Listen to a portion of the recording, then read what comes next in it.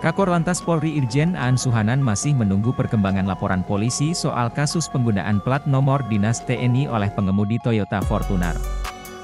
Adapun laporan itu dilayangkan oleh Marsekal Muda, Purnawirawan, TNI Asep Adang Supriyadi. Diketahui, nama Asep Adang mencuat usai plat nomor dinas TNI miliknya dipakai oleh pengemudi Toyota Fortuner yang sempat viral karena cekcok dengan pengendara lain. Aan menjelaskan bahwa pengemudi Fortuner tersebut terancam pasal pidana jika nantinya terbukti memalsukan pelat dinas milik TNI.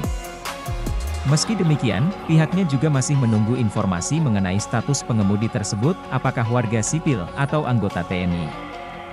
Apabila statusnya warga sipil, maka ia akan diproses hukum oleh Polri. Sebelumnya, Asep Adang mengaku tak punya hubungan dengan sosok pengemudi Fortuner yang viral tersebut.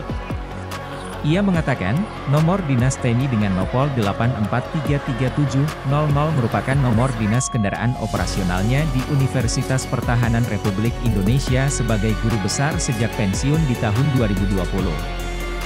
Selain itu, kendaraan yang ia gunakan dengan pelat nomor dinas tersebut adalah Pajero Sport dan terdaftar dalam sistem